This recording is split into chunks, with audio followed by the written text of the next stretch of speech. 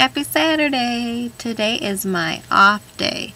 So all I did today was 30 minutes of Zumba and then I walked to the train station and headed downtown because it was finally in the 60s today, which was gorgeous. And I have my new 311 shirt on. Yeah, yeah.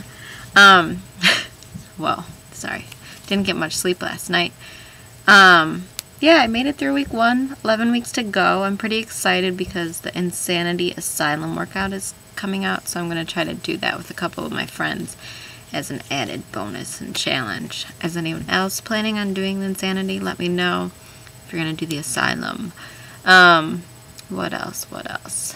Kenpo is pretty easy. I think in a couple weeks I'm going to be teaching three hours of Zumba on Monday, so I might switch my plyo and Kenpo because I don't want to do plyo plus three hours of cardio. My hair's crazy looking. I just was walking in the Windy City.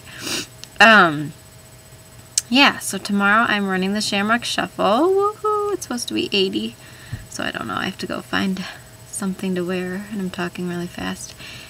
And then, what else? Oh, I signed up for the rock and roll tune-up race. I'm doing the half marathon in August, but sorry, I'm playing with a rubber band. I don't know if anyone's really watching these videos, and I don't really care. They're more for me, and for one day when I'm super famous, I'll laugh at these. And so will my agent and manager. But anyways, I hope you have a great weekend.